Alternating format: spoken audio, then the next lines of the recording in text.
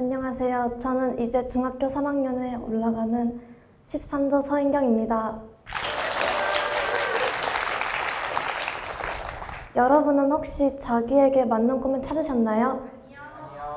저는 저에게 맞는 꿈을 최근에 찾았는데 지금부터 제가 저에게 맞는 꿈을 찾을 수 있었던 과정을 이야기해 보도록 하겠습니다.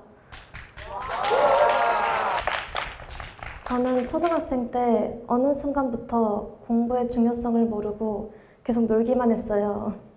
솔직히 선생님들도 초등학생이 공부 안 할 수도 있지, 놀 수도 있지 하고 넘어가는 선생님들 꽤 많았어요.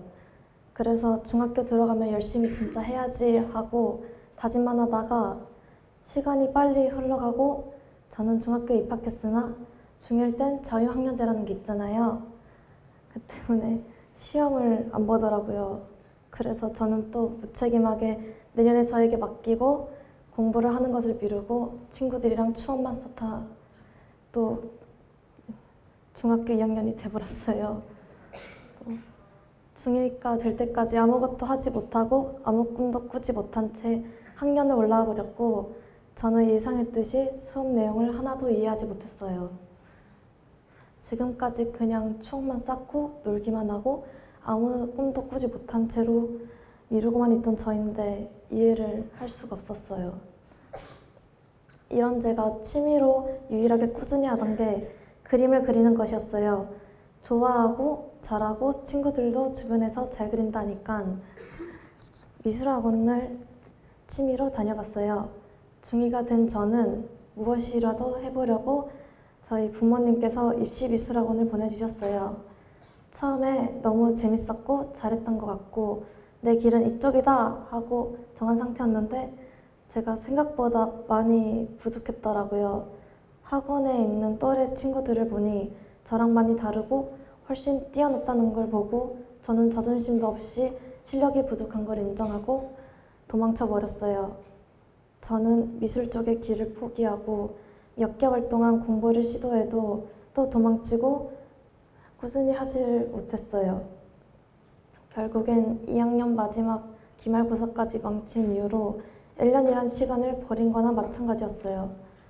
저는 그때 아무 생각도 안 하고 모든 걸 포기했던 상태였고 스스로 자책했어요. 저희 부모님이랑 담임 선생님께서 저를 되게 안타깝게 생각하더라고요. 가장 빛날 나이고 모든 걸 새롭게 찾아가는 나이인데 그냥 추억 쌓기만 하고 공부도 넣고 꿈도 꾸지 못한 채로 있으니까 그래서 담임 선생님이 저랑 상담을 했어요. 너는 뭘 하고 싶어? 하고 물어보셨는데 저는 아무 말도 하지 못했어요. 담임 선생님이 제 취미를 꿈으로 꾸는 게 어떠냐 하고 물어보셨어요. 꽤 괜찮았어요. 제가 화장하는 것도 좋아하고 배우고 싶었던 마음이 있던 상황이기도 해서 저는 부모님한테 가서 진지하게 배우고 싶다고 이야기를 해봤어요. 어, 부모님은 저한테 너 하고 싶은 거 다 지원해 줄 테니까 열심히만 해달라 하고 찬성을 하는 분위기였고 제가 또 메이크업 자격증을 따려고 메이크업 학원에 들어갈 예정입니다. 몇 년 동안 결국엔 시간을 버린 건 맞아요. 이런 제가 마지막으로 전하고 싶었던 말은 포기하지 말고 내 주변에서 꿈을 찾아보는 거예요.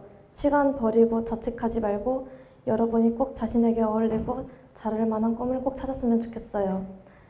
지금까지 3박 4일 동안 같이 공부하고 지내주셨던 멘토 선생님과 같은 조 그리고 여러분 정말 감사합니다. 지금까지 13조 2학년 서인경이었습니다. 감사합니다.